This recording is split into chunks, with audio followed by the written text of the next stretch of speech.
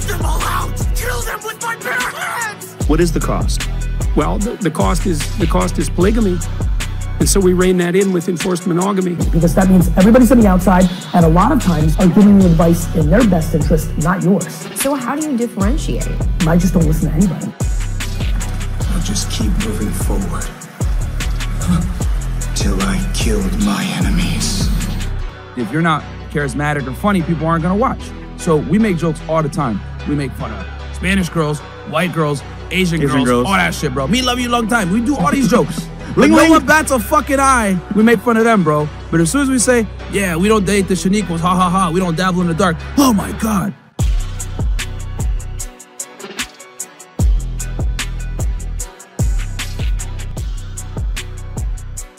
It feels like we left off the last video in a bit of a weird spot. Timing and technical difficulties kind of made it impossible to create a useful transition into this video.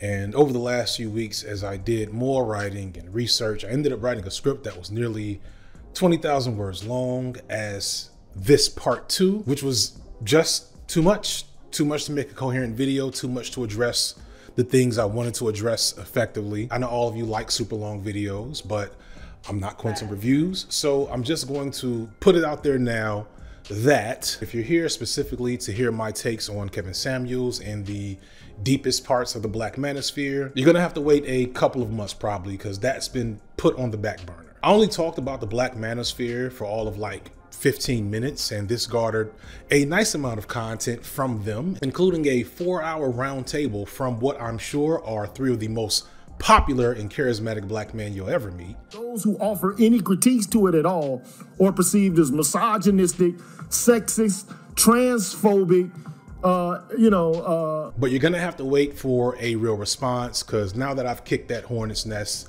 I want to give those guys in particular the appropriate amount of attention and not just have it be a specific piece of a larger puzzle because it's its own unique organism. So you guys, you know who you are. You can close the video. So Kevin Samuel slander, etc., got cut out, but you see the timeline. We still have plenty to do. This video will still be looking at the manosphere in general and present my views and assessments on what it is, why it is, and what to do about it. I will explain why I think hustle culture grifter Gary Vee is connected to everyone's favorite kooky racist uncle Jordan Peterson, and how all of that connects somehow to Attack on Titan. But before that, I do think I need to review some of the main points from the last video just in case. First, while many think of the manosphere as a space where people learn how to pick up women or complain about women or live life without women or why we should take away rights from women, etc. I argue that all of this stuff, from the benign to the extreme, is connected to a concept called hegemonic masculinity, first introduced by sociologist R.W. McConnell.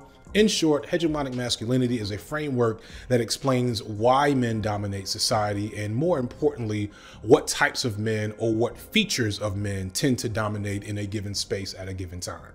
For the sake of brevity, the Chad, as we've come to know him in internet culture, is what we might call the hegemonic ideal. And anything less than a Chad is lower on the hierarchy.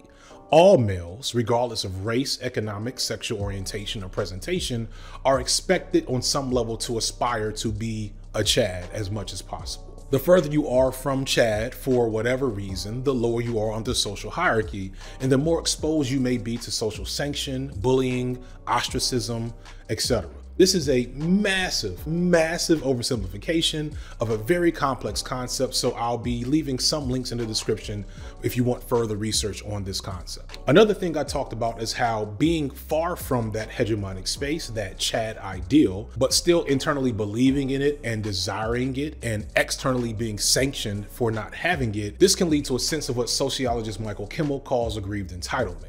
Kimmel states that men, especially white men and boys, are socialized to think that they will all be the stars of their own stories. That as long as they appropriately perform masculinity, the rewards of being a good man or a nice guy, such as getting girls, getting respect, being successful, etc., will come to them.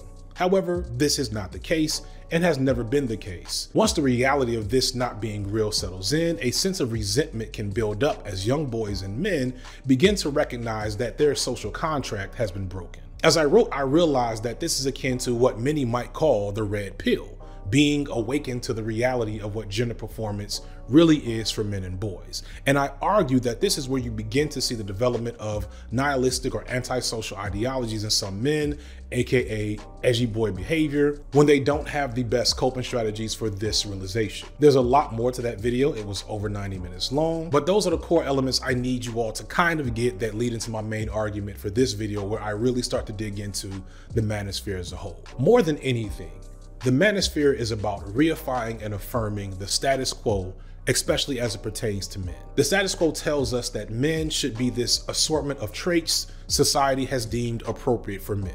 In fact, not being this assortment of traits as a man is why you're unhappy. And more importantly, my product, which you can find here in the manosphere, whether it be advice, some type of content, a special soap, a vitamin regimen, a special type of workout, whatever it is, can help you be better at this assortment of masculine traits. Or more concerningly, my product will show you how it will be easier to be all those traits if it weren't for those insert marginalized group here.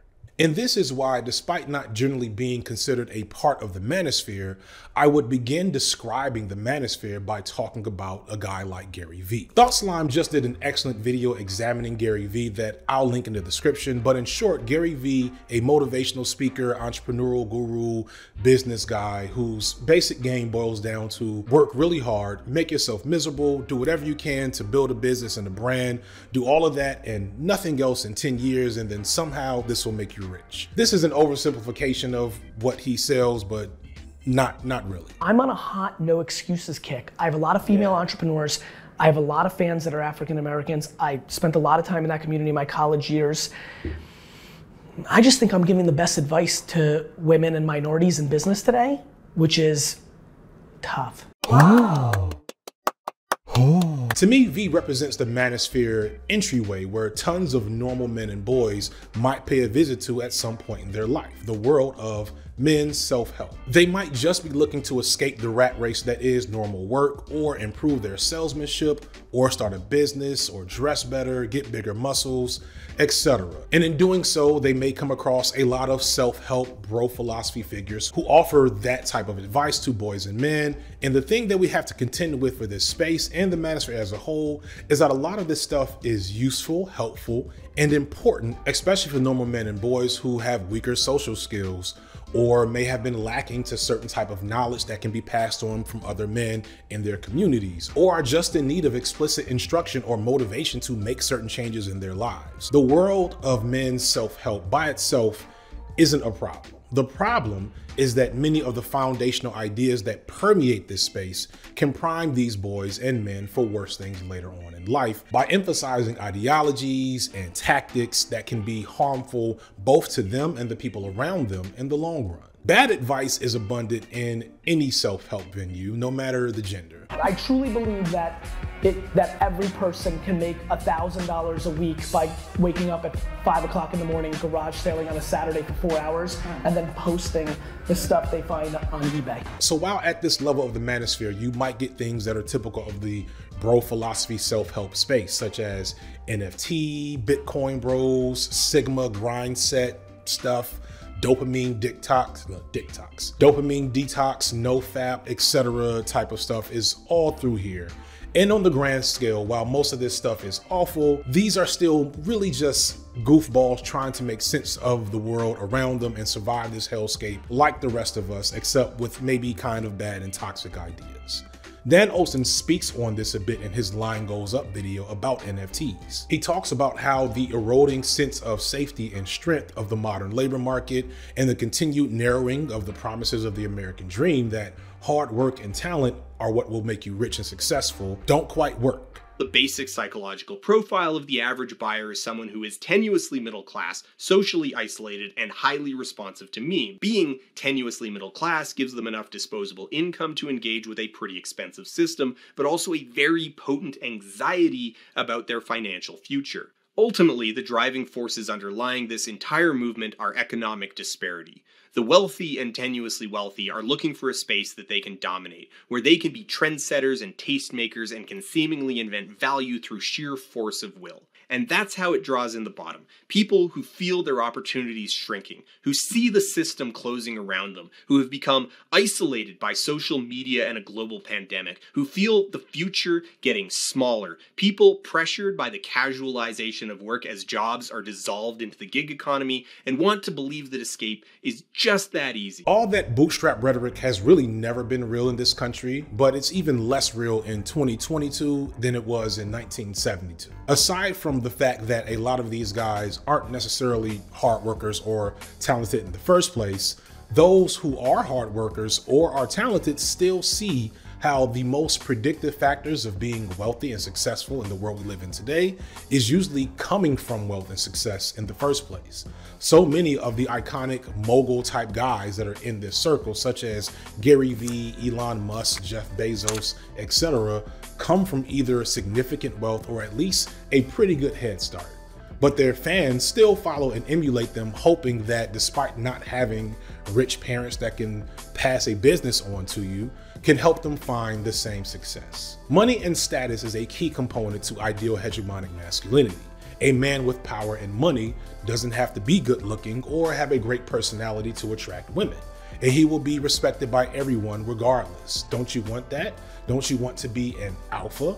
Well, then follow me on Twitter, buy my book, sign up for my seminars, and get my life coaching. And don't forget to sign up for this NFT thing. I don't know how NFTs work, but I know you have to like join because I get a lot of alerts on Twitter. It's it's awful. I want to reiterate that most of this stuff is very normal, and the vast majority of men in this Gary Vee section are normal dudes just trying things out. And they shouldn't be attacked for that. I am not trying to cancel masculine coded things that people like and want to research in communities that develop around them. I'm not trying to cancel hiking or manscaped.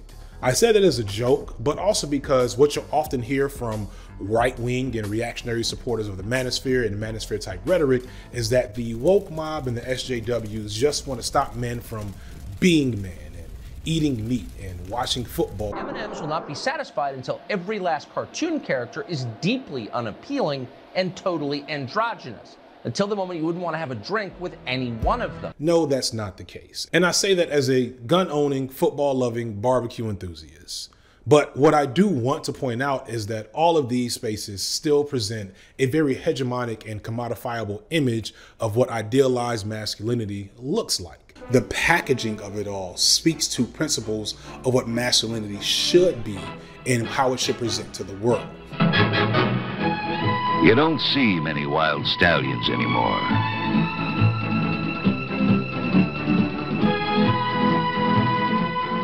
While these types of spaces don't hold really any explicitly negative elements in them, they prime the pump for those who consume this type of content to be more easily taken in by the bad faith actors that exist in other spaces. They reinforce the appeal of hegemonically masculine identity and performance and sell to boys and men that they will only really be happy if they can be more like these types of men.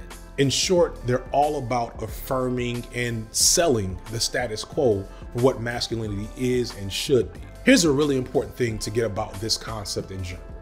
Do not mistakenly conflate high performance of masculinity with happiness and wholeness. And do not assume that men who have access to certain privileges through these frameworks are somehow immune to the struggles and barriers of late capitalist dysfunction. There are definitely many benefits and rewards to high masculine performance under patriarchy, regardless of race, but even the men who have the highest aptitude for performing masculinity can find themselves in hollow and unfulfilling lives. There's lots of media that actually does a good job of deconstructing this, by the way. It's just that I don't think people fully get the message or that the message is drowned out. Notable pickup artist Neil Strauss became famous in the mid 2000s after he wrote a book about the underground world of pickup artistry at that time. It eventually even got a reality TV show. And he got tons of women and became rich and very successful in the process.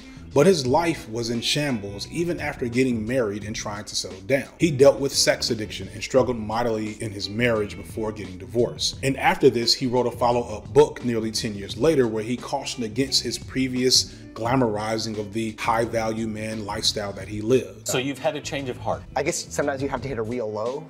And for me, it was meeting someone I cared about, being really in love with this person, or so I thought. Mm-hmm. Then cheating on her, getting caught, and you know, breaking the heart of someone who loves you and hurting her that much that I started to think, well, maybe I'm just completely wrong about everything. To further clarify that the lifestyle that he was living wasn't ideal or high value or to be glamorized anymore because, well, that's the mistake he made in the first place. But when you're convinced that this life is what you want and need, you miss the lessons that people who've been there are trying to give you. It's like when I was an undergrad or just the early 2000s for those millennials who remember that time frame. If you were in college and you were a guy, you probably had a Scarface poster on your wall. But people never remember the end of the Scarface movie.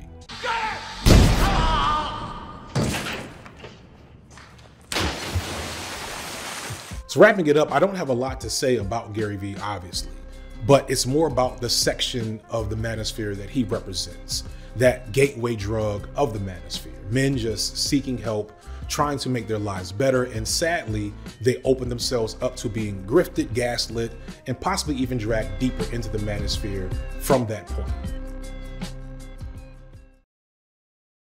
So if you clicked on this video after seeing that runtime, there's a strong chance that you might just be a fan of analytical analysis videos in the form of video essays, commentary, or straight up documentaries. There's also a strong chance that you follow several other educational style YouTubers and would like more of their content, but maybe with less ad breaks or even this particular commercial happening in the middle of the video. If that's the case, you may be interested in Nebula.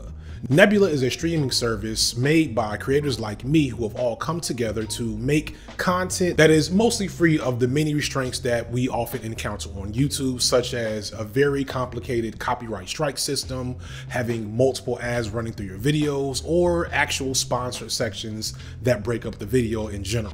At Nebula, creators are making their content free of those restraints, but also making original content explicitly for the Nebula platform. For example, the Working Title series, which is a series of videos exclusive on Nebula that features some of your favorite creators, doing analysis videos related to some of your favorite pieces of media and looking at the core components of their opening segments. In fact, next month, one from yours truly about the Boondocks should be premiering. Before the black nerd explosion of the last decade, where gaming and anime have now become staples of hip hop and urban culture, McGruder was an unassuming, thoughtful young black man making a huge splash in the world of cartoonists with his highly controversial comic strip. If Nebula at all interests you, you probably are also interested in Curiosity Stream, another independent streaming service that features thousands of independent documentaries on a variety of subjects from history to sociology to culture to animals to science.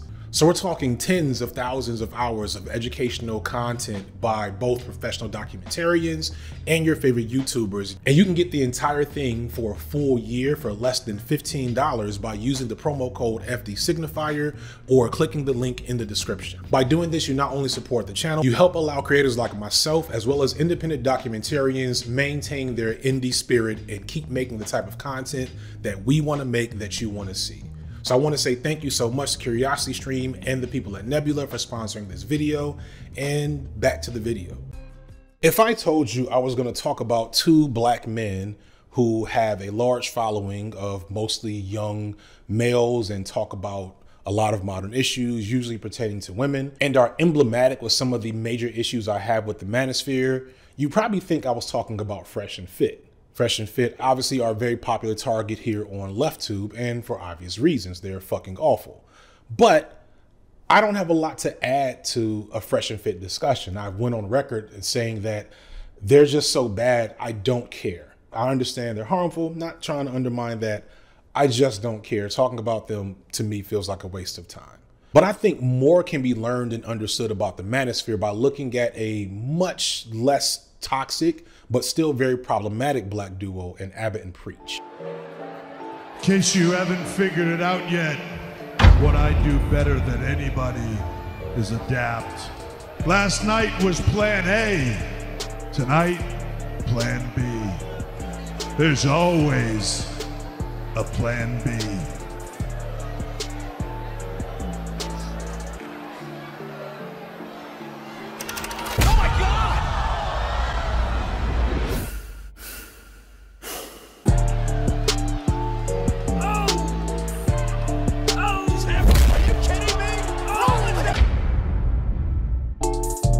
Not too far from the benign goofiness of the Gary Vee group is the elusively toxic Aba and Preach group. Except I imagine that the age range for the Gary Vee community skews a bit older because it's such a wide swath of different types of men and boys looking for helpful information, whereas Aba and Preach are very much an online and YouTube friendly thing. They make this type of content that is likely to skew younger and more impressionable.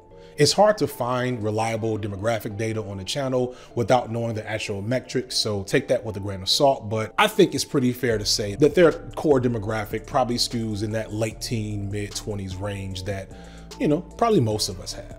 Especially for young men and boys who are seeking creators that offer male centered perspectives on trending topics. You're a young man and you want to learn, avoid making mistakes that I made. Um, take some notes. I found Aba and Preach pretty early on in my own YouTube creator journey because I was looking for black male commentary creators who weren't outwardly toxic. Initially, I was happy to find Aba and Preach, but it didn't take long to see that while not being outwardly toxic, their content still had a lot of concerning elements. To their credit, I want to be clear, we're kind of 50 50 with these guys, and I'm gonna not be 50 50 in the video to illustrate the problem, but I want to make sure it's clear that there are elements of Aba and Preach I think are redeemable. I just wish those other elements weren't so bad. They tend to take aim at what is an overzealous and often unfair media landscape and general tone around gender from the perspective of men. They see it as often too critical towards men around certain issues. Aba in particular seems to be very invested in calling out elements of hypocrisy in the ongoing gender wars that are popular in social media as well as TikTok, YouTube, Facebook, Twitter, wherever you want to go. A lot of you guys are feeding into your own perpetual failures in life and then getting mad at the market and shitting on it. Women do it as well. I find it fascinating. Everyone's always blaming everybody else. Men nowadays, women nowadays. No, some of y'all just need to do some self work and figure your shit out. And it's a lot easier to say to women. And even women do this. Women get on their TV shows and be like, what's wrong with men today? Why don't they have their shit together? Because we going through some shit. We are. and guess what, ladies? You going through some shit too. There is a prominence of feminist rhetoric and wokeness and SJWs that can sometimes have blind spots on how people engage with gender as it pertains to men, including queer and trans men. I will argue with anyone that women know a lot less about men than they think. It's actually hilarious sometimes. There are a lot of situations where, from a man's perspective, women sometimes will get passes on overtly toxic, patriarchal, or even homophobic behavior that we wouldn't get. Or that men are sometimes not allowed the space to grow and learn from certain behaviors or mistakes in the public sector, etc. However, there's a lot of nuance that often gets left out of these valid grievances that you know, I don't have time to get into, but you all kind of know what they are. And as I've pointed out in other videos, the problem in the gender wars, black or otherwise, isn't men versus women. It's really everyone versus patriarchy, but that doesn't get the same amount of clicks. And a lot of people hear the phrase patriarchy and decide to shut off their ears, even if everything they're hearing makes perfect sense. It's like telling white people about white supremacy. For younger boys and men weaned under patriarchy and lacking models and frameworks, or in many cases, just the language to engage with these topics around gender effectively, it can feel affirming to see confident and charismatic men, especially black men, speak on some of these anxieties, to call out double standards and make an effort to bring women to task in a way that they often don't see on some of these issues. Okay, so the issue that I, am having with this discussion is like I think it's mm-hmm. fine for everyone to talk like this and esoterically, but we do have a crisis, right? We do have an issue with a lot of people who are very likely to die alone, who are basically getting in their own way with some of these ridiculous standards, and they face a lifetime of loneliness. So we can get up here and we can be saying all this stuff and it sounds cute, but I'm a pragmatic person. I, I think about what's good for society and what's good for communities. And so when I see so many people who are being left behind, to me, it just sounds so sad. I hope mm-hmm. you guys rethink some of these ideas because even though it may work for you and it may be fine for you, you got three other girlfriends down the street who are going to die alone. Damn. And that's where it's sad. So that's all I want to say. So having Aba and Preach or numerous similar figures, because they are not unique in this style of content, talk about issues of lookism for men or double standards for intimate partner violence, or talk about how to better talk to girls or maneuver relationships. Talk about the way men who show emotions outside of aggression and lust are often seen as lesser than. This is valuable. In some ways, it might almost seem that Aba and Preach are trying to deconstruct hegemony by challenging norms that often aren't challenged. Further, they do also make a lot of content that is critical of the most ridiculous elements of the manosphere and alpha male podcasts and political issues, etc. You preach to these men that they have to always seek this thing, that this is the way to live, that this is the best way, but you don't even walk the talk. That's what I find distasteful. It's like a Derrick Jaxn talking about be faithful to your wife, don't pay for box. Come to find out this man's cheating on everyone. How are you any different? Can you tell me? Now everyone's gonna get, well, you know, we're attacking people in the manosphere. I don't care about the manosphere. I don't care about none of this. Move with integrity in life. That's it. I'm not here about some scene. Oh, you can't go on this podcast. I don't care. At the end of the day, the truth remains the truth. When I came into the game, when I was listening to Patrice, we didn't call it red pill. We just called it the truth. These niggas is fronting on some points. On the surface, they may seem like a nice, safe entryway into discourses around social issues, but specifically aimed at men. But sadly, that's really not the most accurate description of them from my perspective or other creators with similar styles of content. It doesn't take long to look at the whole of Aba and Preach's content to see that it closely resembles anti-SJW content that you might have seen during the Gamergate days. A large portion of their content boils down to crazy woman gets owned for stupid things she did. But all the things that got them so triggered. Goodness gracious, we don't want anybody offended. Somebody call the politically correctly. And a significant amount of their content is simply antagonistic towards trans women for a cheap view. A lot of this is something that's called straw feminism, which is where someone takes the most extreme or uncharitable interpretation or representation of women or feminism and uses that as an avatar to argue against the entirety of a concept or a gender or a group, etc. It's basically just cringe reaction content where the subjects they tend to tackle a lot are women and girls. I am not of the mind that you can never make jokes at the expense of women. I'm still mad that transphobe Hall of Famer now, Dave Chappelle, Dave Chappelle, J- Dave Chappelle. I'm still mad that Dave Chappelle spent an hour complaining about trans women but didn't have one joke about the girl that accidentally glued her hair to her head. That's hilarious. But when most of your content is this low vibration, othering comedy about women at their expense, you kind of see that same punching down vibe of something that I think they went on record as saying they don't care much about. And all of it ends up serving a very specific viewpoint and agenda that again supports the status quo. For example, in this video, they make fun of a female soldier who struggles to complete a military test and use that to jump off into a critique of forced gender quotas in general. Watching this video is truly an inspiration to never give up. I feel inspired, but unsafe. I'm gonna tell you that. I'm just being real. The other dudes strolled through like it was nothing. There was like a point in the military where they transitioned, they were really allowing women to join the forces in droves, but they really wanted to encourage it because, from a public relations standpoint, it worked really well. And also, to be fair, admitting women in the military was overwhelmingly positive. But Mhm. the way that they pushed some of them through the success stories that they were trying to paint, Yeah. like you would have Marines, right, who are males and who would get passed on for promotions for women who met an inferior standard, yeah. right? Even though they were working for the same job. Here they make fun of a vapid girl in a dating show, but make sure to insert the ever-present simping, anti-simping argument that is somehow still a thing in these YouTube streets. I live in California, so I've been around basic women like this before. It's insane how vain they are and unaware as well. But to be fair, dudes are the reason why they're that unaware because dudes will simp for them anyways. Mm-hmm. Oh my god, it's like it's hard. Maybe it's because she's an airhead, but everything she says, I'm just thinking about her looks. And when she goes, uh, it's hard, I'm like, yeah, yeah, it is. Here they make fun of a white feminist doing the white feminism and not minding their own business. Wait, what do you disagree with? You don't think that catcalling can be like a little enjoyable sometimes? It's not. It's disgusting. It's always disgusting. Of course. It's never made you feel good. No. So what's your opinion on these three women disagreeing? Um, I, there's a camera in front of them, and they're trying to be in the camera. That's it.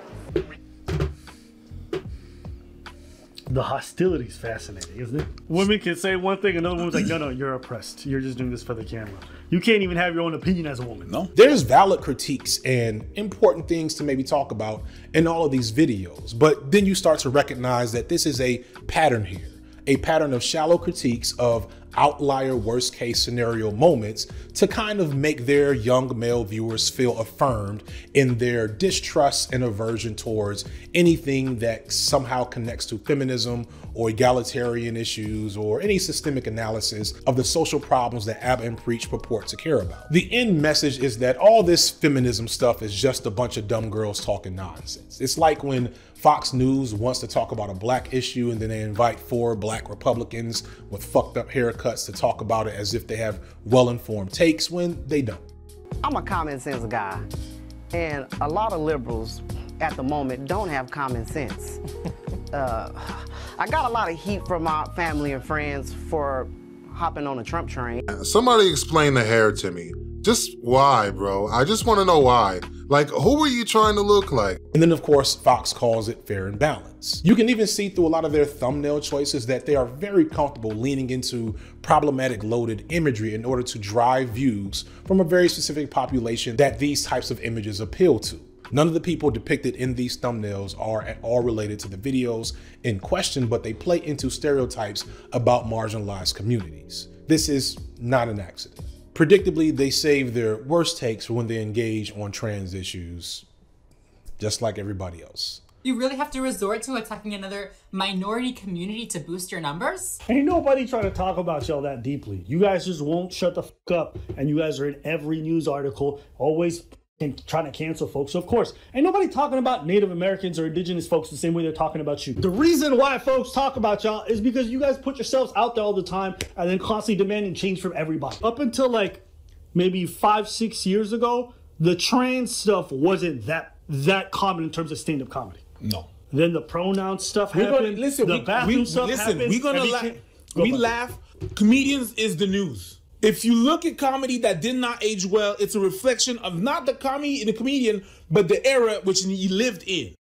So if you talk a lot and you're all in the news and stuff like that, we're gonna talk about. Who's to blame for that rise in attention? Trans women are in the news a lot because it makes for good outrage content, like a lot of y'all's content.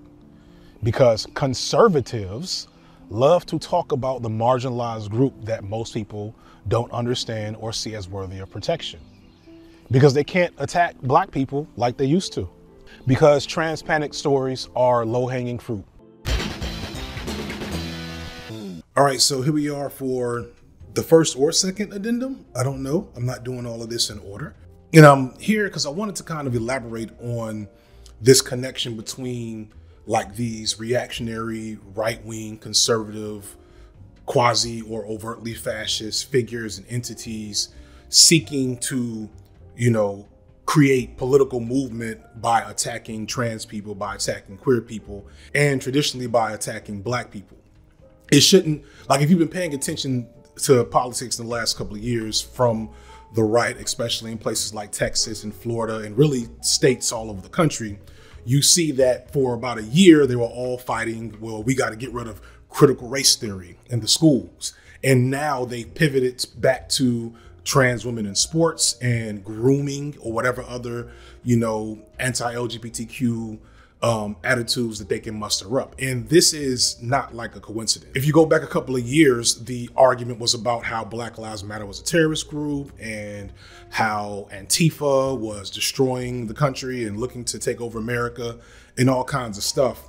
And I want to like try to draw that through line so people can see it. Because when I go back to thinking about how people responded to Dave Chappelle and his transphobic stuff in his comedy special, it was clear to me that a lot of people didn't quite recognize that all of this was a part of the same right wing movement to basically subterfuge political activity into these negative attitudes about these marginal identities. As you pay attention to anything political from the right right now, they're not talking about anything but guns, black people, and queer people. That's it. They don't talk any policy at all. There are no explicit policies around issues that most Americans would care about that are coming from the right. It's just galvanizing people against these marginalized identities. They are relying on people's allegiance to this hegemonic thinking to create momentum for these fascist policies that they are trying to instill for all the things that Trump did beforehand. Because when Trump was doing it, it was Mexicans. It's always a group that they can other.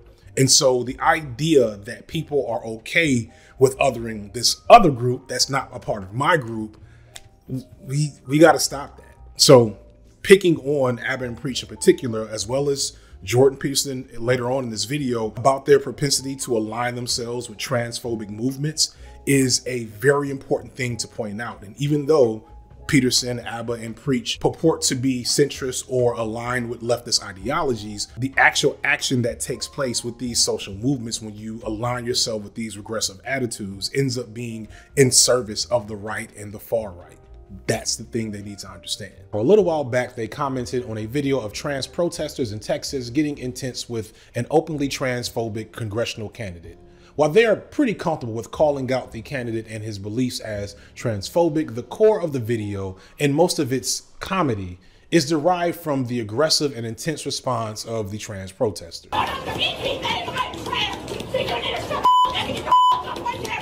She's 17? He, he? I don't know. I didn't hear what you said. I, I My even, pronouns are he, he, they. What does that even mean when your pronouns are he, he, they? Well, it's Michael Jackson and a lot of people.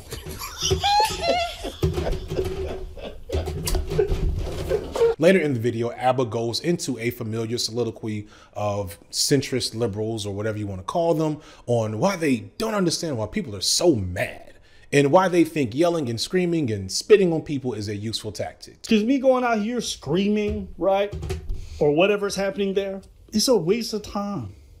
I'm not saying what he's saying is not abhorrent. It absolutely is. I'm not with it. In this instance, like it's more understandable because of how reprehensible the person is. But I've seen these same kind of like protests for like be it Jordan Peterson or be it for some Farrell. He goes to University of Toronto and they lose their mind like they don't have to hold the same views as you. They could be against gay marriage, they could be for trans kids, they could be for whatever. It doesn't matter. Like it's not your place to go protest them all the time. Like I'm, to me, I just don't understand that.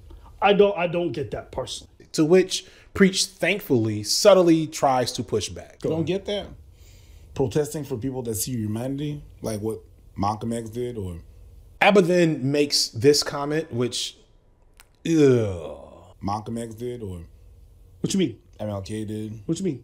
Do you think you think Malcolm X is going to Klan meetings and protesting there? No, I see Okay. what you're saying. Okay, that's what you. Yeah. Like you all understand that this wasn't a Klan rally. This was an event that happened at their college, which essentially was a message from whoever organized it that they're not really safe there. Furthermore, civil rights activists regularly went into hostile and sometimes dangerous environments. That's how some of them didn't make it back home. Y'all don't know that Malcolm X marched on a literal police precinct in the 60s? My brothers and sisters, we have to put a stop to this.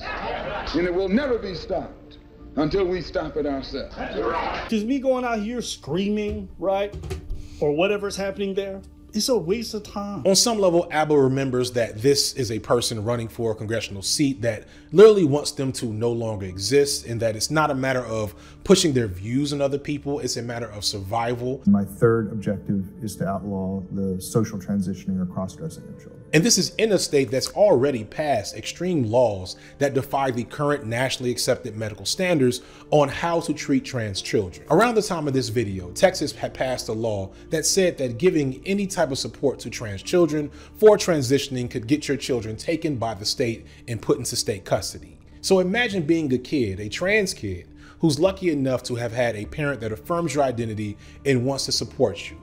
And just by living your truth, the state can have them arrested and you put in foster care. If you know anything about trans people, you know that there's a high suicide rate that is not caused by the existence of being trans, but is caused by transphobia, by the constant and persistent misunderstanding, abuse, and outright hatred of the world around you. So, laws like this, politicians like this, and videos like this are contributing to that problem. This guy they're not defending, but like not spending nearly enough time talking about, is essentially trying to Thanos snap trans people from existence in the state of Texas. So, yeah, you might get spit on for that shit. We could argue about the efficacy of protest or certain types of protest tactics, but by minimizing and mocking them for being rightfully angry and not really going deeper into the context of the situation is pretty gross. So while they don't explicitly endorse many of the destructive and harmful systems that hurt women and trans people, the way they engage on these topics around those issues clearly puts victims of these oppressive and violent systems on the same level of fault as the people actively trying to do violence to them. It's basically this me.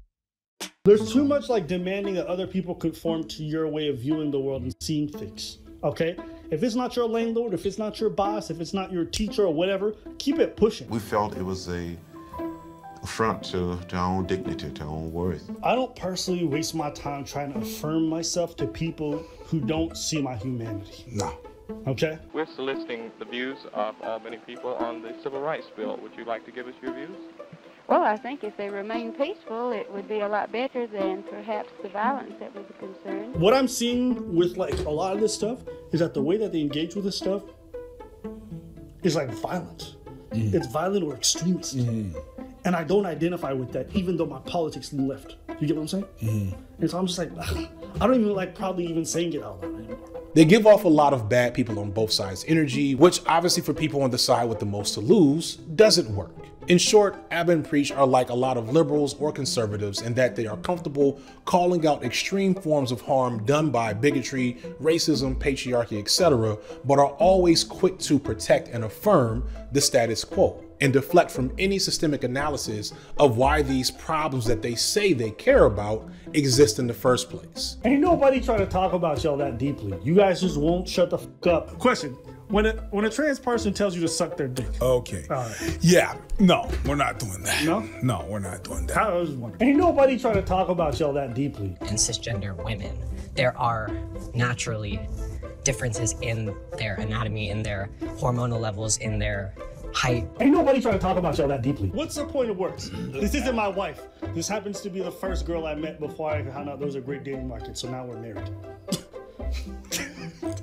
you know what I'm saying? Like, why, why, why is that wife? Because it's not inclusive. Ain't nobody trying to talk about y'all that deeply. At some point, relatively recently, I assume they got enough pushback that they addressed how they have been covering trans issues and maybe the status quo and centrism in their content to begin with, and that maybe they've come to the realization that they're not doing their best to address these things, which is, you know, good, I guess. But they also inadvertently tell on themselves.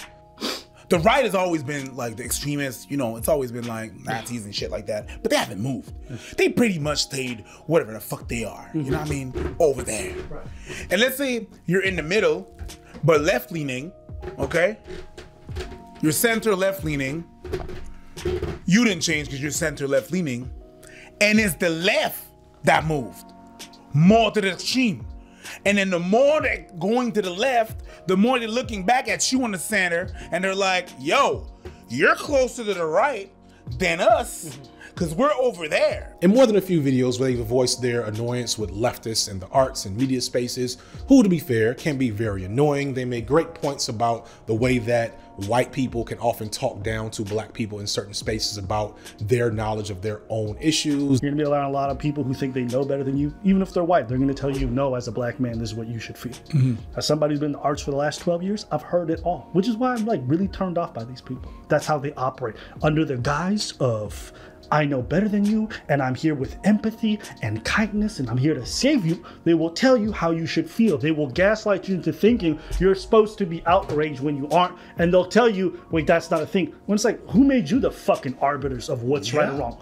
That's been my experience with these kind of super progressive types. Just get used to it. They talk about the infamous black square nonsense, but they also low key admit that the reason why they're having issues in these leftist spaces to begin with is because they themselves are conservatives or at least liberals, and they don't seem to realize this. When you hear this statement about them staying in the same place and everyone else moving left, they don't seem to realize that by trying to keep things right here where they belong in their heads, that's them being conservative. They're literally trying to conserve the status quo. Second Thought has several great videos on how the status quo serves fascism and capitalism.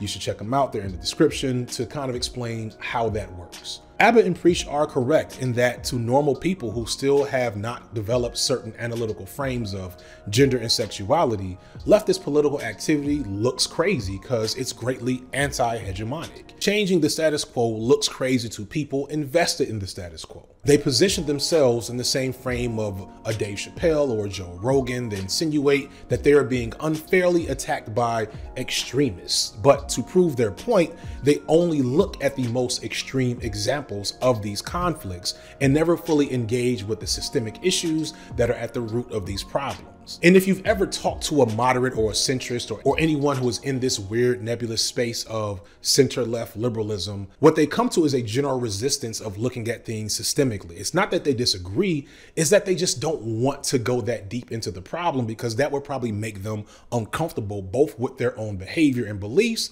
but also in the work that that might mean for them to change that.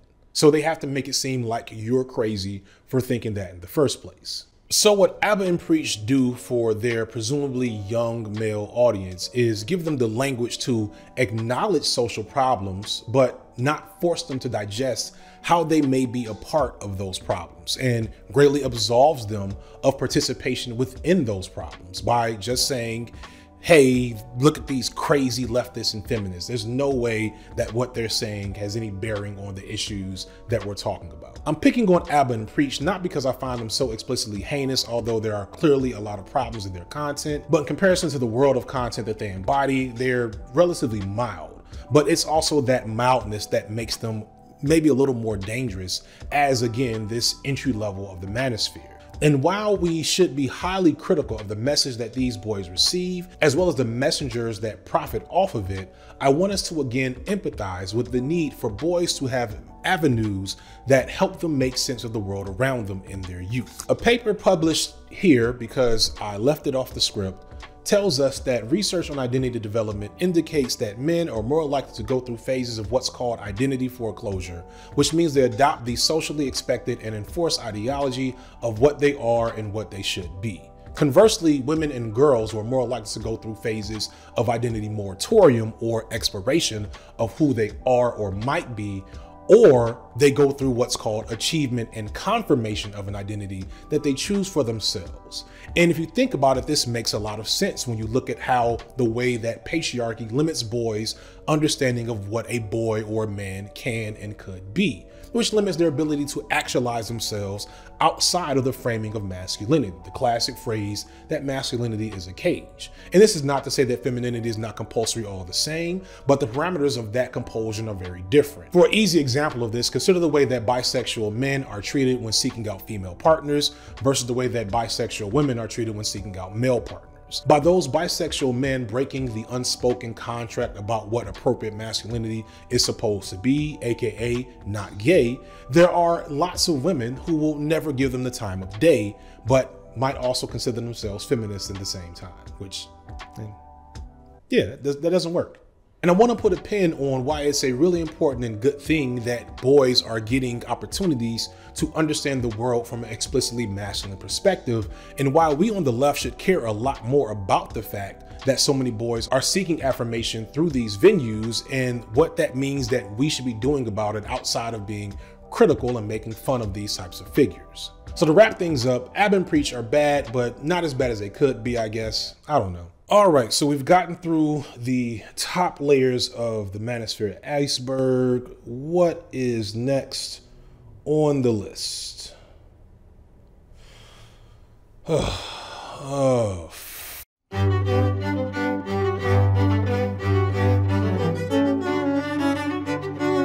Jordan Peterson, for my black viewers who may not know, is basically white Kevin Samuels. In fact, I'm pretty sure Kevin Samuels talks about Jordan Peterson in some of his content and read his book. anybody, is anybody in here familiar with Jordan Peterson? No, no. Dr. Jordan Peterson. Dr. Jordan Peterson, he's a psychiatrist, psychologist out of uh, Canada. There are a few differences, though. While both appeal to vulnerable and emotionally damaged boys and young men seeking guidance and support from a masculine voice, Samuels' rhetoric is overtly misogynistic, while Peterson combines subtle misogyny with a sprinkle of racism, a few scoops of homophobia, and a whole lot of transphobia. Do you think men and women can work in the workplace together? I don't know. Without sexual harassment? We'll see. Here's a rule. Don't- don't How about you- no makeup in the workplace? Why would that be a rule? I don't know why. Why do you make put your lips red?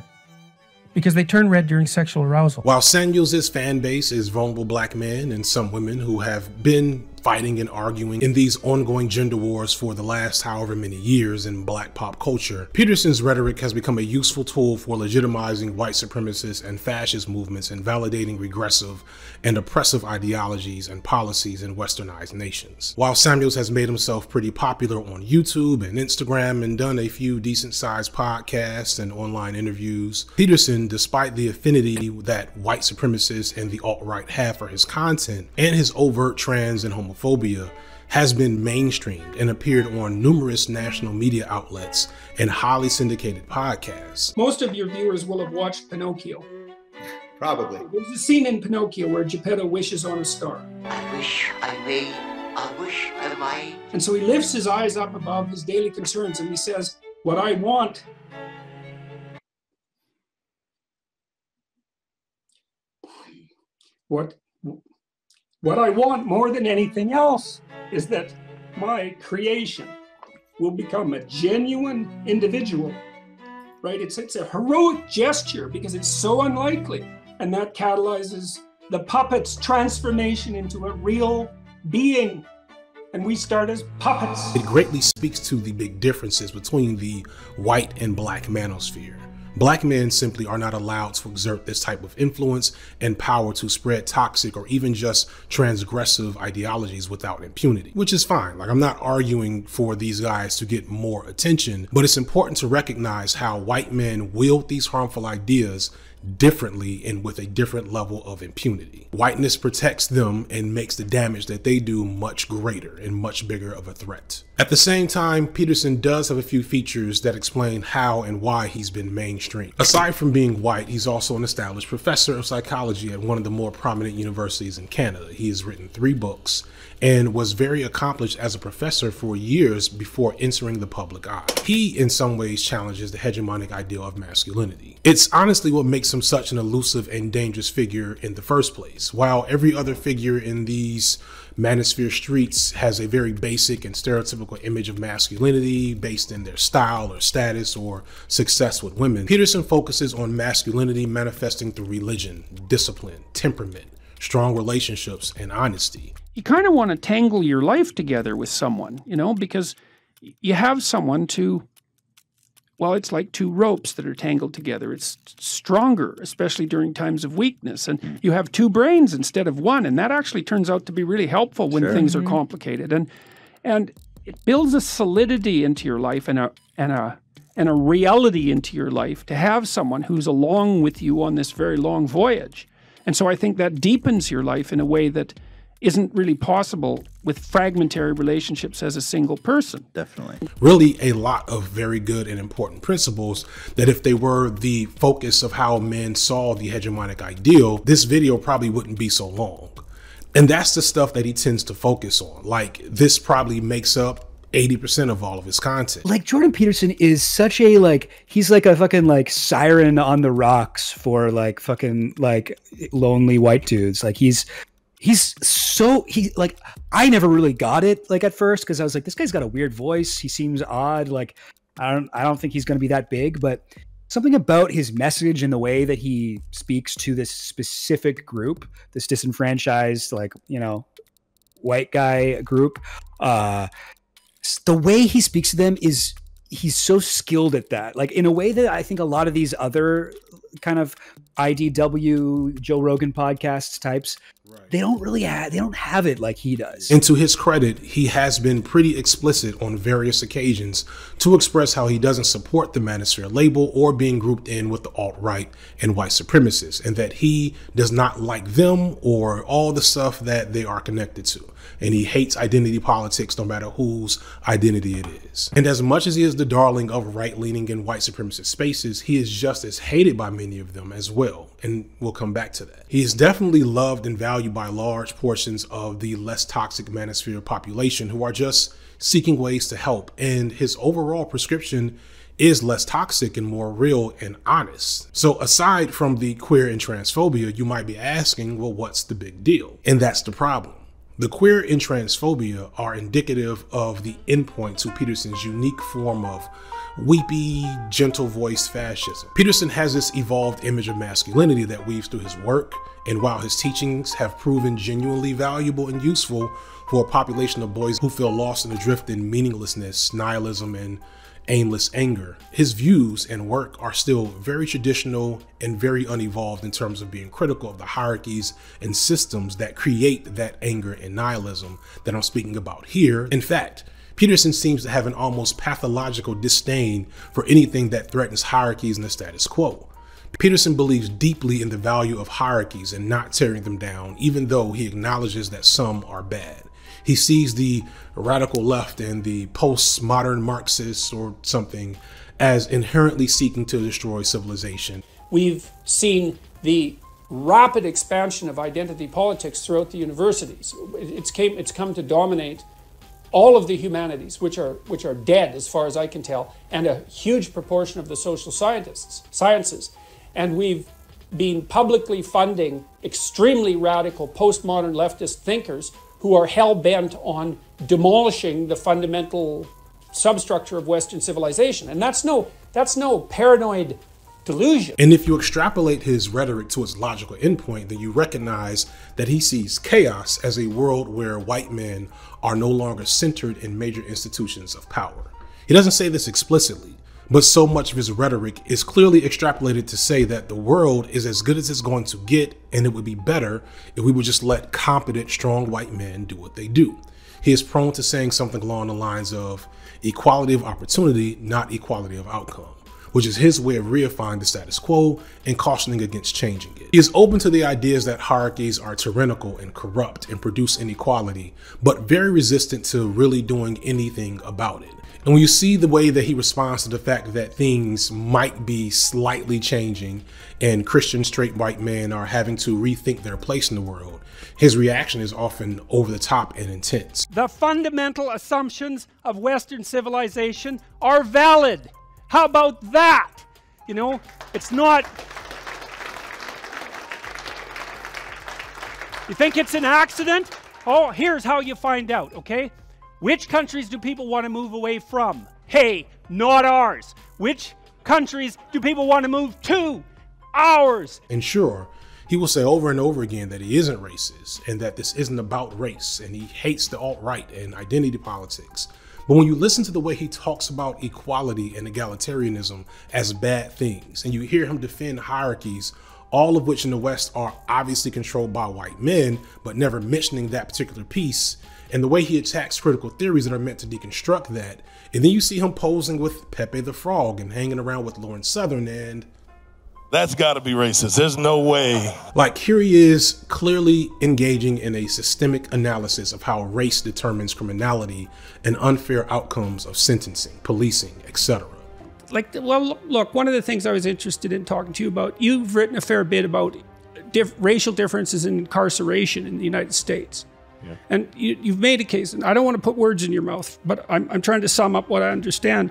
Yeah. That the fact of those differential incarceration rates not only has a variety of negative, medium, and long term consequences for everyone, um, but that it does point to a kind of system, systemic problem that's fundamentally discriminatory. And here he is calling the idea of systemic racism insidious and false. I've been thinking about this idea of systemic racism a lot lately. And it's very, very treacherous term, and and purposefully so, I believe. But then there's this systemic issue, you see, mm-hmm. and that's what and that sort of snuck in there. Systemic. Well, systemic implies central tendency. And here he is crying at the idea of it being harder for white men to get girlfriends. It's so sad that so many of these men, you know, they've not had an encouraging bloody word, a real encouraging word in their entire life. It just takes a little bit of of encouragement and care so that they're willing to set themselves straight to some degree and start trying. It's just a catastrophe that that's that's so rare in their lives. And what he's being critical of here is the fact that cishet white men like him and his favorite students and his friends maybe, and the many men that follow him are going to have to lose some privilege for everyone else to address the inequality that he swears is not at all systemic. And he will argue his point valiantly and in circuitous and uninspired parables and metaphors and non sequiturs. But the fact is, he just really doesn't care about the issues of those less fortunate. In a weird way, he completely admits this and kind of sees this as the core of what the left is, which makes his antagonism towards it even more gross. What about disparity of distribution? So there's the problem of absolute level of wealth, let's say. That's improving. But there is still tremendous disparity. And of course, that that is fair enough. You could even point out that the role of the left is to provide a conscientious voice for for that's constantly attending to the fact of continuing disparity regardless of absolute level of wealth and and fair enough because the sad and funny thing is if he really cared about these men that he's writing these books for he would recognize how these same systems and hierarchies that he so fervently and passionately supports are the core reason why his core audience is suffering the way they do. And it's hilarious when you think about it because for all the crying about great replacement that is woven through Peterson's rhetoric is really a bunch of nonsense at a material level. Even he said that the world on so many measures is better off now than at any time in history. So many things have happened in the last 40 years that are so good you just can't believe it. I mean, we've lifted more people out of abject poverty in the last 15 years than in the entire course of human history in terms of sheer numbers of people you know, and starvation, except for political reasons, is now pretty much absent across the world. He cries at the idea of white men feeling bad about themselves because they might need to use someone else's pronouns to not be considered rude. Like, if white men were so starved for meaning and representation, you'd think they'd I don't know, pay attention to most of the fucking world. Instead of complaining that a black guy is going to be Doctor Who, they would just watch the other 30 years of white Doctor Who. A funny thing occurred to me in the like production of this. This is the last part of this video. Thank God. We see this constant crying and whining from the alpha male advocates, white supremacists, anti-SJWs, etc about how real men and real masculinity is disappearing and the media doesn't want you to see it. But despite that, so many of these guys aren't all that interested in supporting or getting behind the traditional images that are present half the time. Remember a little while ago, God of War released concept art for Thor, and they made him fat and awesome looking and burly and very manly. And these guys complained that he didn't look strong enough. He didn't look manly enough, which is weird because I'm pretty sure more of them look like this Thor than the Thor they now hate. But then just a few months ago, The Northman came out, and this was a movie that was so white and Viking that people just memed it into being automatically racist, which maybe wasn't fair at the end of the day. Because it turns out that The Northman was a fucking amazing movie, an insane trip to watch, and definitely not for everybody, but amazing. And yes, there is zero melanin in it, no representation of any queer anything, just pure hetero boning, lots of gory violence and manly grunts and gore. And there's like a Viking boss battle in the middle of the movie out of nowhere, and just all kinds of other awesome shit that I don't want to spoil. And it bombed. And it's not because they didn't try. Like, I saw tons of advertisement for this movie, so I know that other males in my general demographic saw the same thing, but these white men that are just so starved for alpha male representation in the media were too busy complaining about woke Thor or seeing red to go watch a movie about fucking Vikings. Like y'all know a bunch of black people went to see Red Tails like 20 years ago and it sucked and we saw it anyway. To the last bullet, to the last minute, to the last man, we fight! We fight! We fight! We fight! We fight! We fight! That's what it feels like to be starred for representation in the media. That we had whole family events to go see fucking Red Tails. Back to Peterson. Even though he doesn't use the usual bigoted, racist, homophobic, or transphobic rhetoric that other conservative and right leaning figures do, it's impossible to completely disentangle him from those political standpoints because his rhetoric, while more polite and with fancier words, essentially seeks the same outcome as those on the right that he outwardly professes to despise. And what annoys me to no end is that he doesn't want to acknowledge that he's being pulled into the alt right and neo Nazi movements for a reason. And so many defenders of him, when it comes to this particular criticism, act like they can't imagine why a guy who openly supports hierarchical power of straight white men and offers smart sounding arguments for it would ever find fans among conservatives, the alt right, and neo Nazis. And I want to address that ongoing debate that the alt right neo Nazis don't like Peterson. Peterson has been very open about his dislike for them, and at times he almost seems to regret the fact that he's been recuperated into their rhetoric. They haven't been able to find one thing I've said in 30 years that, uh, what would you say, justifies any of those accusations, or any other accusations for that matter. So it's, uh, it's, it's quite the phenomena. I mean, I understand it to some degree. I don't buy this argument that they don't like him and see how his rhetoric is valuable for their cause, or at least clearly didn't at one time. One video that attempts to make this argument makes it pretty clear that while surely some notable figures on the alt-right and among neo-Nazis don't like Peterson because they consider him a half measure, which again, I really wish his fan base would digest that a bit more. Cause like being half a Nazi, still not good. But they wouldn't be talking about him and trying to attack him the way they do if they clearly didn't have a lot among them who like him and found his rhetoric valuable for their cause. What else is there to say about these people except that they're dangerous to say the least, and not as much of a gateway to us as some alt writers like to think? If anything, they are gatekeepers and speed bumps that allow people to take the easy way out of confronting the social malaise of our times. They're halfway rest stops that allow people turned off by the rabid SJW left to counter-signal their opposition in a comfortable way and without embracing white identity. In the responses in these videos about what the Nazis are saying negatively about Peterson, they're basically saying Peterson isn't fascist enough, which and let's not forget, Peterson, like Samuels, was nothing special, not well known, not widely understood to be a figure or a player in political or psychological discourse until he found a voice in a reactionary conservative movement seeking to harm marginalized people.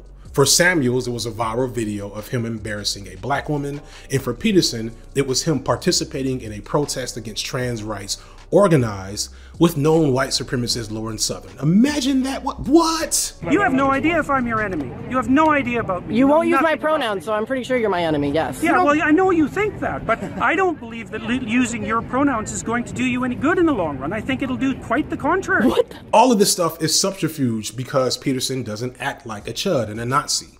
He says semi okay things, openly distances himself, and genuinely seems to care about men and boys, and he's clearly helped a lot of people. But his care for them is centered on their role in the hegemony, the, the hierarchy of white men at the top and everyone else under. And to try to alter that from his perspective is literally sinful. And that brings it to the most concerning part of Peterson and why he's on this far end of the spectrum from my perspective, even though ostensibly he's much less openly toxic. It's that he is mainstreaming these dangerous views and ideas that clearly align with the most extreme elements that can be found in the manosphere.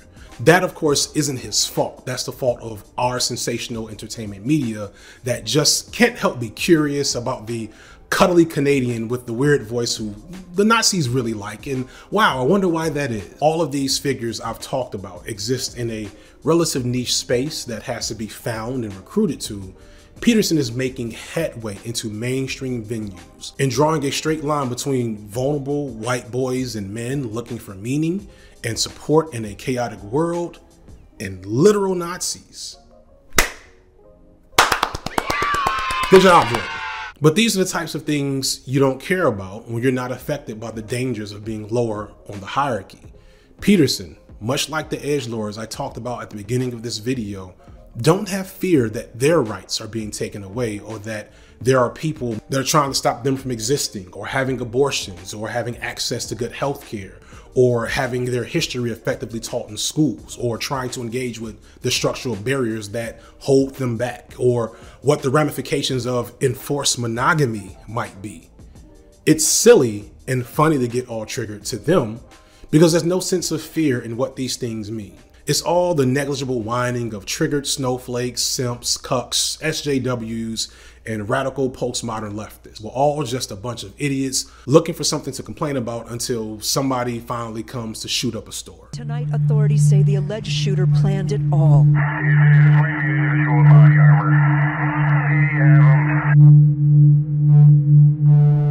I am much more likely to die from heart disease than of gun violence. Even less likely to die in an active shooter event. Women ages 20 to 40 are more likely to die of an unintentional injury or suicide than homicide. But for those homicides, over one third are killed by former intimate partners. I'm bringing up heart disease and accidents to make sure that we understand that the threats to our lives are much more often things far less sensational than being the victim of a spree shooter or some other form of domestic terrorism or even an act of intimate partner violence. That said, the impact that these types of events and stories have on our daily lives and psyches is not to be disregarded. That's what terrorism is. And the patterns present in certain types of violence by men and boys, both white and black, cannot be ignored. I don't think I'm saying anything special to point out that white supremacists, incels, and incel adjacent ideologies are overrepresented in the modern history of spree shooters. Incels, for anyone who has made it this far into this video and somehow doesn't know, stands for involuntarily celibate. And although it was coined by a woman blogger who wanted to discuss her experiences with struggling with intimacy, it was co-opted by young white males as becoming an identity for them to gather around and gripe about not just their difficulties with intimacy, but how the core of their difficulties to them lies in an oppressive social system controlled by women that marginalizes them as men who somehow lost the genetic lottery. What I will give the incels is that they, like some of these other figures in the manosphere, actually have great critical thinking skills to an extent. They did a great job of analyzing the social systems of attracting and partnering and hierarchies across race and gender and economics, etc. They understand access to a man's capital and lookism and ableism and race will dictate not just a man's options for romantic partnership, but also their ability to do well in life to even attract a mate. From a sociological standpoint, the grounded theory of these crazed incel rants on gender and sex are actually rich with kind of effective analysis. The problem is that akin to other manosphere spaces is that at the end of the day, at the end of all this analysis that breaks down these hierarchies, their response is to say, okay, let's keep the hierarchy and figure out a way to put us on the top of it. And that that's not how this works. Incels are kind of the tip of the spear when it comes to the worst elements of the manosphere, along with the remnants of the pickup artist community, which seems to have died down and maybe was watered down into whatever fresh and fit and alpha male podcasts are, along with men going their own way or MGTOWs who conversely have decided to live lives without the toxic influence of women. These are like the triumvirate of the most toxic of the manosphere communities. But understand, that's not where it ends so much of the manosphere is closer to dumb annoyance than existential threat because they express bad ideas and harass and dox people online, etc.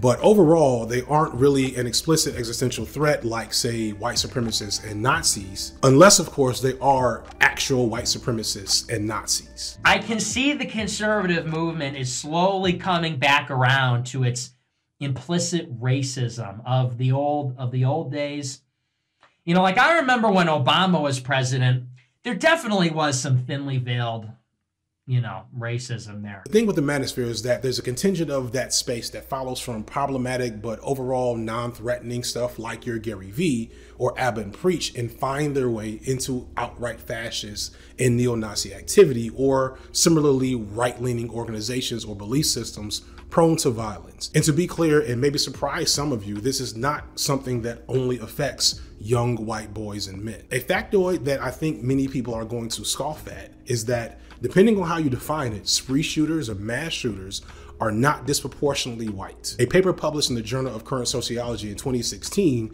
was one of the first to do a full on analysis of mass killings and race in America, and it found that mass killings, as defined by the killing of more than three people in a single incident, that found that the rate of mass killings mostly mimicked the racial dynamics of murder rates in general, and that white males are only slightly overrepresented among mass killings. In fact, the ethnic group most overrepresented among mass killings was actually Asian men. Now, of course, this means by virtue of population dynamics, white boys and men commit a lot more spree shootings as a raw count.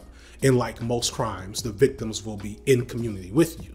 Thus, white mass killers are more likely to kill other white people and black killers the same. So this means that when white mass killers attack and they kill other white people, this guarantees, for the most part, much more media attention and public outrage, except for in those cases such as with Buffalo or what happened with Dylann Roof in South Carolina, where it's a clearly racially motivated issue and it does get national headlines because people love to watch black pain. On the flip side, black men who commit these types of acts, it's often a very different crime altogether.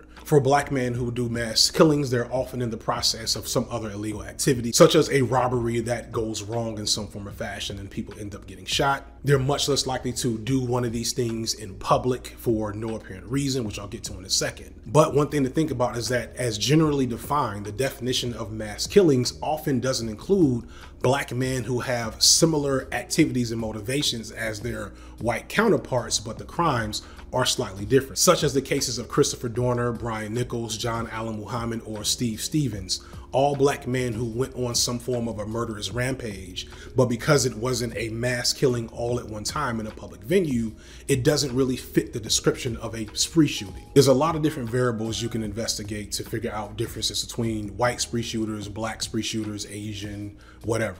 But the thing that's the same between all of them, the thing that's pretty much the same worldwide about this phenomenon is that it's almost always men and it's almost always heterosexual men. And that so many of these events are directly tied to a sense of reclaiming power that these men feel has been lost. So, with black men, you see that there is still a form of misogynistic and misanthropic rhetoric that permeates a lot of these men's behavior and does have the ability to spill into random acts of violence. Gavin Long, who shot three police officers in Baton Rouge, sent his manifesto to Boyce Watkins, of all people, notable like diet manosphere staple that's been around for years. In 2009, Asia McGowan, a small time YouTuber, was murdered by a peer on her college campus who is a raging misogynist and an avid consumer of old school black manosphere content. And just a few months ago, the New York train shooting that happened was committed by an older black man who reportedly was an avid consumer of misogynistic manosphere content. We're gonna be watching Tommy Sotomayor. And some of you know who Tommy is. Tommy is a long time uh, YouTube. He's been around for at least longer than I had, probably about 12, yeah, about 12 years, I'd say. You know, he's he's big. He's he's, he's been he's he's he's amazing YouTube. He's you know he's, he uh, has built his channel up. And this isn't considering how manosphere content might affect black men who aren't committing mass violence. I want to be clear that the murder rate for black women and black trans women has no explicit reported ties to the manosphere except for in those specific singular cases. But you can't deny that this world that normalizes misogyny and hatred of women at that level cannot be making the world safer for black women. That said, when it comes to this extreme end of the manosphere and how it manifests into senseless violence, we are still mostly talking about white men and boys, and I guess to some extent Asian men and boys. And in this case, there's a lot of research to recognize how this connects to how they perform and perceive masculinity. Police didn't have to search long to learn what motivated a 22 year old gunman to kill six people and injure seven others. Before doing so, he posted a 141 page manifesto, mostly blaming women for not having sex with him.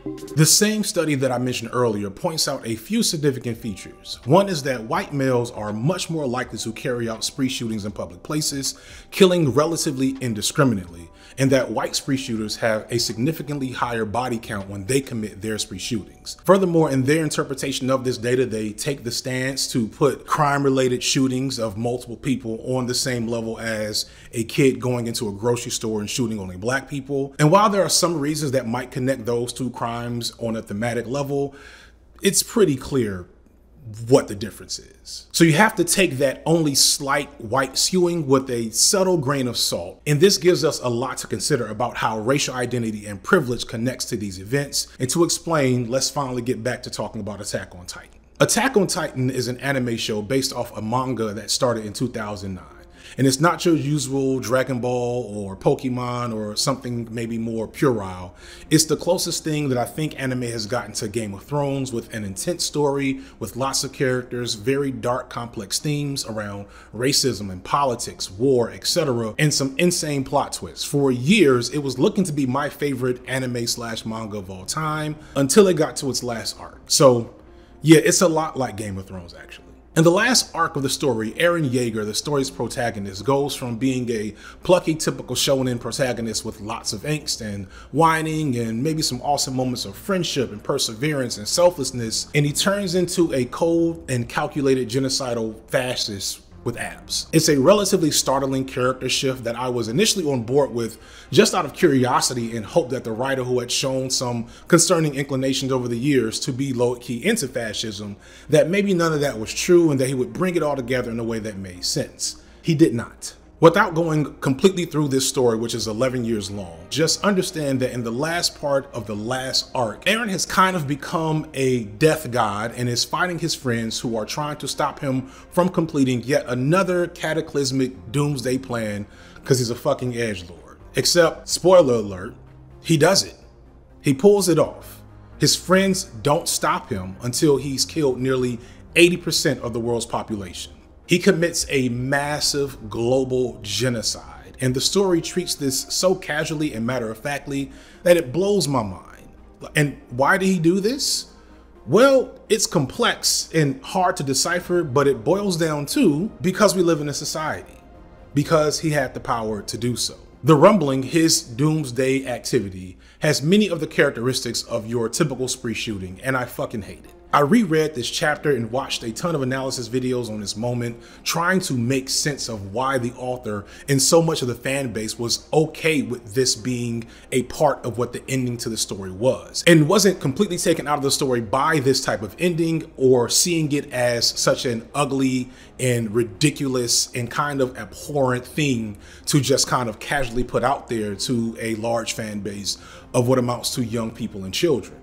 Why were so many fans okay with the ending being a global genocide that also had the byproduct of leaving much of the world under control of fascist regimes? Regimes, regimes. What is regimes? Just leave it in. And the most sensible answers I could find were numerous arguments saying that Eren had no control, that he was destined to do this based on some complex story elements that I won't fully get into. But when you go back and you read the reasoning that he gives in the story, it sounds like some shit a spree shooter would literally say. You forced me into a corner and gave me only one option. The decision was yours. Now that the slate has been cleaned and you have the world's attention, the question is, what are you going to do? Seung-Hui Cho, Virginia Tech. Just like me, those people were denied everything they deserved, everything they wanted. Though we may have been born bad, society left us no recourse. No way to be good. I have been forced to align myself with demonic forces. Chris Harper Mercer, Oregon. I am the good guy. Humanity struck at me first by condemning me to experience so much suffering. I didn't ask for this. I didn't want this. I didn't start this war. I wasn't the one who struck first, but I will finish it by striking back. I will punish everyone. Elliot Rodger, Isla Vista, California. I have fought and fought, always defending against eradication and the fallibility of man. There's one more battle to fight with life, to face death, embrace the long standing hatred of mankind, and overcome all fear. James E. Holmes, Littleton, Colorado. In order to completely destroy the cycle of hatred and revenge, we must destroy this hatred's history. We must eradicate it with the very civilizations that harbor it. Eren Yeager, Attack on Titan. The story muddles Eren's motivation by indicating that he was forced to do this by a separate entity, but it's not ultimately clear who was really in control. And to me, it doesn't matter because, again, if you read the words of many spree shooters, you'll hear similar statements about how they were forced to do these things by a voice in their head or fate or society, that it was their destiny. And it grosses me out that so few in the fan base are bothered by the inconsequential way the story and characters treat this end result, that this nonsensical plan to genocide the world for peace for once actually happened and the characters left are like, yeah, sorry about it. Let's put a meeting on the calendar to figure out what to do next. But I feel that this is because the reader base has a similarly perverse relationship to a sense of power and entitlement as Eren Yeager a grandiose sense of self centeredness that if you have the power in a situation, then you have the right to use it however you see fit. The reason why white shooters shoot more in public places is because they feel comfortable there. They feel entitled to have dominion over those spaces. The reason why they have higher body counts is because they plan their attacks out more for maximum lethality. They have the resources to buy the most lethal means of attack, to buy body armor, and probably most significantly, to plan and act uninhibited because the police and other authorities don't respond to them with the same level of urgency that they do others before and after their shooting.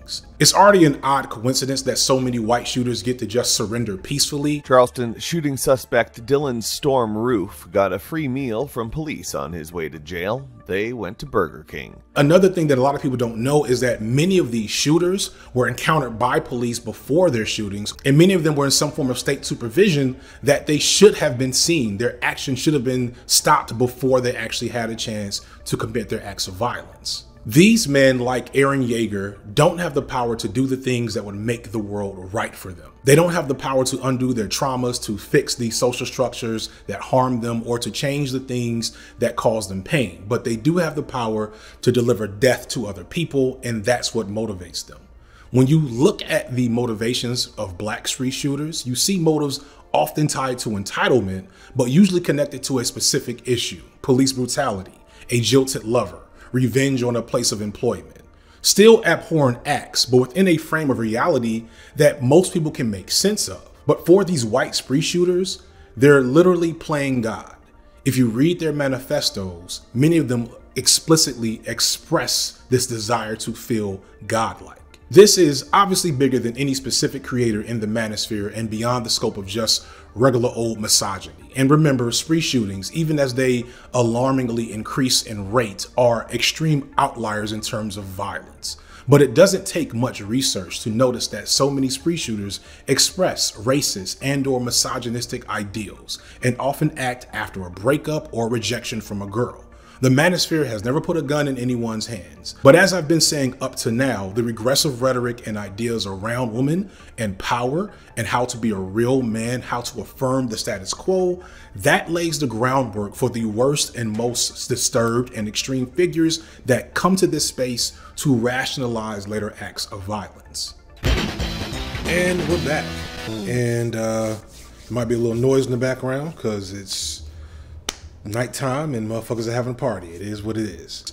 Uh, I want to kind of re-engage with some of the uh, Eren Yeager slander um, because as I put this out early for patrons and even just mentioning on Twitter, seeing the thumbnail with Eren Yeager on it, I was somewhat surprised that the biggest pushback I got immediately was the idea that I might slander Eren Yeager, a individual that I've complained about multiple occasions at this point, like literally my first signified B-sides videos.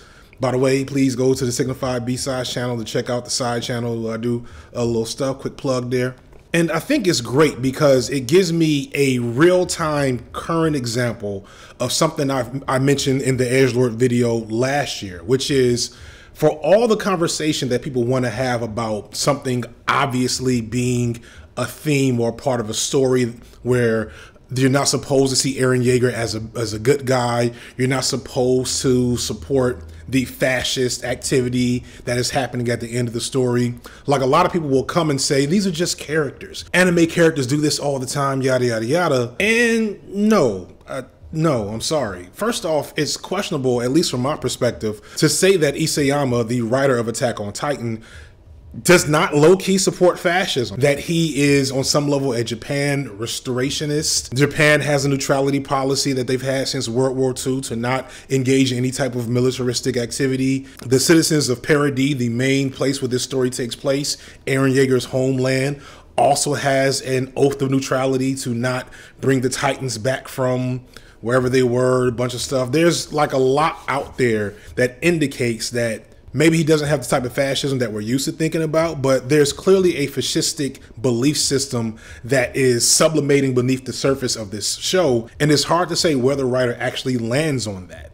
And that, in and of itself, to me, is a problem, especially when you start to dig into some of the details that I put out here in this section, or many other people that have pointed out that Eren Yeager kind of seems like he's been a sociopath this entire time, and they just kind of either hid it or made it seem like maybe sociopathy is the way to go.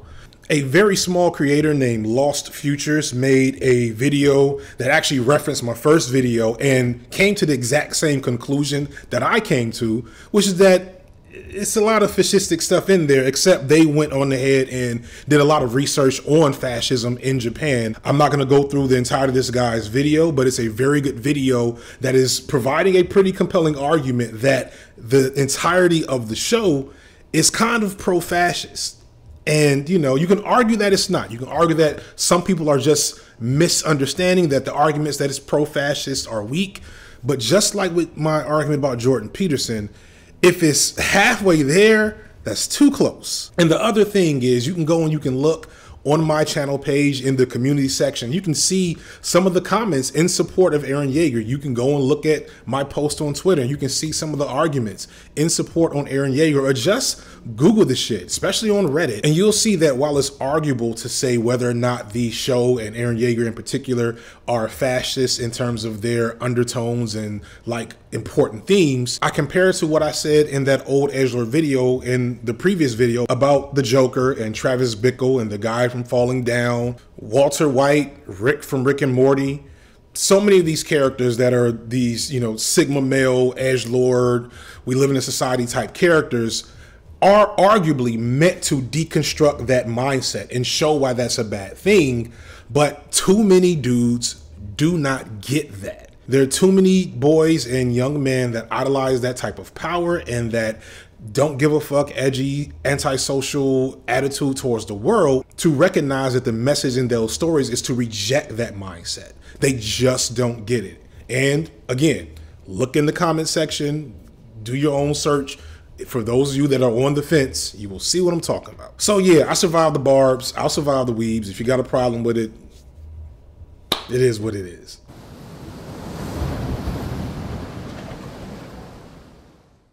For most of you, I'm not saying anything you don't already know. In fact, I imagine that if you're here on the left side of YouTube, that almost everything I've spoken about here is pretty well understood on some level.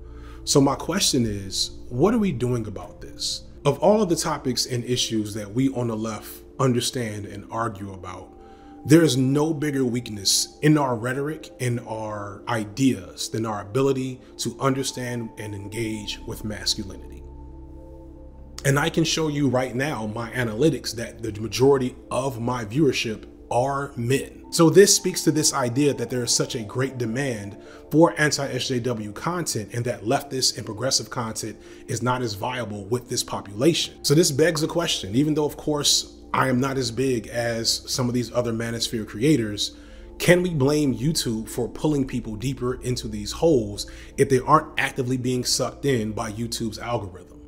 The research says no. Noah Samsen addressed this in a video a little while back, and I found two different papers published in the last couple of years that also support this claim. Both found that the only people who fell deep into those types of rabbit holes of aggressive, violent, racist, etc. content were people who greatly were predisposed to that type of worldview to begin with, i.e., ones who are already looking for it. The algorithm and YouTube on its own is not as powerful as we like to think in terms of radicalizing normies at least not anymore. I think this is something significant to understand. On one end, I am somewhat skeptical of the research because the one question I have is that what counts as predisposed for that type of content? So much of how we teach boys and men to see masculinity could easily predispose a good amount of young men to pursue radical content. But more significantly, if we recognize that there is a battle for the proliferation of certain ideas among this population, but we still see the massive influence and reach of everything between Gary Vee on to Jordan Peterson for men and boys, then to me that says that we aren't really putting our best foot forward to address this on the left. A video essayist Macabre Storytelling did a pretty awesome video on his experience with pickup artist communities. He bravely admitted that he had unironically spent some time in the community and then got out, and while in, he noticed that most of the men were just normal men who were like him, trying to get better at talking to women. He also noticed that although he could see the flaws in the community and that there were several great content creators who had done excellent breakdowns of why pickup artistry was bad, when it was time for him to find a better alternative to pickup artistry and manosphere type content, a lot of these creators didn't have as much to offer. Whoa there. These guys may seem like your saving grace, but their methods may lead to you only seeing women as objects to be won. Ah, yes, I can see that. Glad you let me know this before I got too deep into it. Bye, cringe lords. No. Awesome. So, can you help me? Uh, help you with what? Well, like I said, I am pretty insecure when it comes to women. Oh, well, just be confident. Just be confident? Yeah, just, you know, be confident. There's plenty of fish in the sea. You'll, you'll find the right girl eventually. Well, thanks, but I, I, I was hoping for some more substantial advice. Like, my mom told me the exact same thing, and it isn't really all that practical or specific, so there may be a. Hello?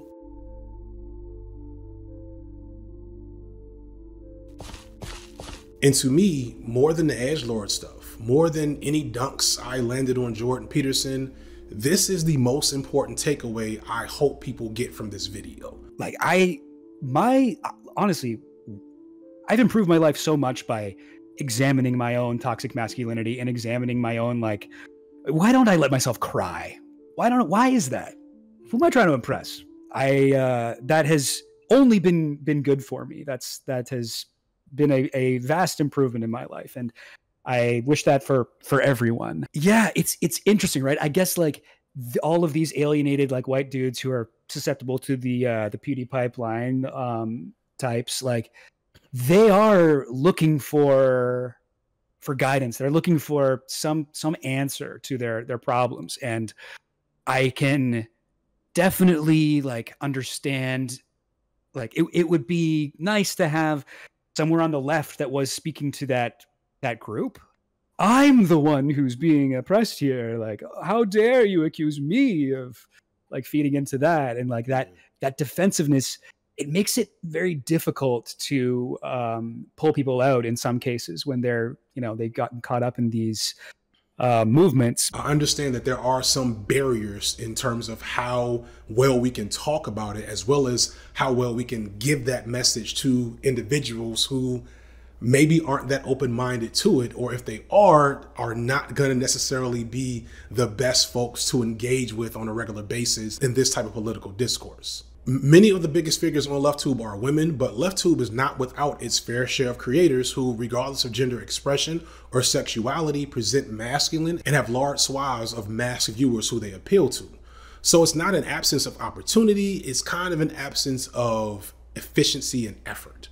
And again, I understand why. So much of how all of us have been taught to understand masculinity is built around these destructive and toxic frameworks. Many of us, myself included, are in a constant negotiation with masculinity as something we value and identify with, but also something we've had to, in some ways, unpack and relearn in order to get healthier. Some of us don't know how to define, perform, and embody masculinity without the toxic elements that we agree shouldn't be there. A few weeks ago, Kendrick Lamar released what amounts to a recorded therapy session for black men in the form of an album, and I think it was great. The album manages to address black men's internal struggles with trauma and masculinity and toxicity and queer and transphobia in a way that I never could. But in the process, he misgendered and dead named and, and even platformed a known predator in the hip hop community. I would argue that even those bad parts of this album make it even more effective for addressing and engaging with a population of black men who are not going to read Antonio Gramsci anytime soon. But at the same time, I don't have the same perspective as femme and queer participators in this discourse that feel put off and uncomfortable at this type of rhetoric being loosely used in any situation. I hope this doesn't sound like complaining. I hope it sounds like the numerous layers of complexity around engaging with masculinity from this weird progressive standpoint and why I feel like a lot of men on the left maybe just avoid the minefield altogether. On one end, there's an innate fear of making the wrong move or saying the wrong thing and maybe getting canceled. But also, there is an innate fear, I think, that we somehow end up reproducing the same problems and frameworks that we are hoping to defeat. It's like it's like super important to me now to not to not not even to not even be perceived as like someone that that, that is toxic to like progress. You know, you know, a lot of my old videos and old ideas I still like basically agree with, but I'm like very careful about how I say things and what I say because um I don't I I want it to be clear that, you know, whose team I'm not on basically. When you see the way that some men on the left act when you see how many a celebrity or professed male feminist shows themselves to be shitty in the long run when push comes to shove, you see how this fear is warranted. But we should also hopefully see that this is not an ideal state of affairs for our goals, and that by avoiding these topics and this whole area of gender discourse, we're only empowering our enemies to corner the market on that topic. So we aren't making things better by not being explicit about engaging masculinity in our work. No shade to anyone, but it's not hard to shit on chuds and make fun of alpha male podcasts or to call out obvious assholes doing the obvious asshole things. Those things are important, but they are also abundant on the platform. What we don't have is a lot of analysis on boyhood, men's experiences in sexuality and sexual development, men's body issues, and God forbid, some type of useful engagement with boys and men, learning how to talk to women and engaging in partnering. We've got some elements of that present, but we could be doing a lot more. I think a lot of people think that they're doing enough already. It's kind of like the it's kind of like being it's kind of like the difference between being not racist and being anti-racist. Mm. Okay? I think it's great and amazing if you're not racist. You don't say slurs. Dude, that's freaking gi- give me some. Sick, dude. Nice one. Now, now that you're not racist, now that you don't hate women or now that you dunk on these like right-wing guys, what are we gonna do with these guys? Because we're looking at like a sea of dudes who need help. What are we gonna do? But like we feel like we should stop and end right there at that. We've debunked them, we've we've destroyed them, we've torn down all of their stuff, right? What are we what are we gonna do now? Yeah, like high five, good job. What are we gonna do now to um reel these people back in? Because we can't just stop there. That's where the anti-racism comes in. That's where the deprogramming comes in. There's been very little intentional guidance given to a lot of these men and boys around their specific standpoint in this process. The only ones speaking directly to them are the ones that tell them to resist that change. So, shockingly, I have fans that are both fans of me and somehow Kevin Samuels. And the only thing that makes sense of that from my perspective is that these are young men and boys that are so hard up for useful images of black masculinity that they'll take damn near anything, even if it doesn't make sense when you put them together. As I'm able to do it because I'm also a very carbon copy expression of I'm the ve- I'm the vehicle of of that patriarchy. People see me, and Tiana from Fab Socialism was the one that made me realize this the most. She said, I was afraid to click on your videos because you look like the type to do it. You look like it. And I was just like, you know, maybe I should change up my I should change up my thumbnails. Maybe I shouldn't put myself in the thumbnails. And it was actually the folks from Standard, shout out to folks from Standard, that was just like, no, I think that that's the reason why you resonate because people see a picture. They see very much presenting masculine, strong, you know, bear type, and then you spit something different. And it takes them for a loop. And that's really one last thing I want to get across before I wrap this very long video up. There's a possibility that this long into the video that some of you do not agree with me, but you're watching all the way through just to make sure you've done your due diligence. I appreciate that. And maybe you're not interested in moving further left. Maybe you're a staunch conservative somehow in some form or fashion. Maybe you're one of the many men that liked me and a Kevin Samuels. Wherever you are in that spectrum, I don't need you to read Capital or Bell Hooks or anything else explicitly that is going to pull you into a leftist ideology. But what I will challenge you to do is to deconstruct how you see yourself as a man apart from the messages and images that you see in the manosphere. That we have now so much proof and evidence is not helping you, is not helping us as men out here in the world. I get the appeal of easy laughs. I get the appeal of feeling like men aren't spoken for effectively in social media spaces and that somebody should do something about it. I understand that. And I understand that as a man who has felt the way you felt, as a man who has questioned my efficacy as a man at numerous times throughout my life, a man who felt the urge to read Neil Strauss's The Game. Yes, I'm putting it out there. I read that book in my early 20s because I felt probably how a lot of you feel. And had a lot of this manosphere stuff existed 20 years ago when I was trying to understand who I was as a man, you best believe I'd have got sucked in just like some of you all, and I'd have prayed for this voice that I'm giving to you all now as a beacon to get the fuck out. Because it does not work. It is not helping you. And it will not help you in the long run achieve the things that you say you want to achieve. Humble brag, achieve the things that I got before I even got on YouTube things I just got in my personal life, things that aren't perfect, that don't make me perfect or ideal as a man, but it's things some of you all say you all want. I'm no guru. I don't want to be that, but I at least want to be here to spread that message to you. Bruh, come on out the cave. If we can teach young men that they don't need to be that, I think that would be really, really healthy for them and really beneficial to society as a whole. Because like everything bad I'm saying about young men and like the mindsets they have, we, we teach it to them. Mm. You know, like we as a society breed that into them. And I think it's very easy to look at like some of the kind of uglier ways they behave and express themselves. But I mean, that's coming from somewhere. Like something in the pipeline is going wrong, right? Right. I, I have a lot of sympathy for like dudes who still have to accept all that and have that ahead of them. And I don't have a prescription for that other than to do your part. Support creators that you know are trying to do better. Masculine creators out there, white and black, claim ownership of your masculinity. Express it and celebrate it as a good part of who you are and who you strive to be.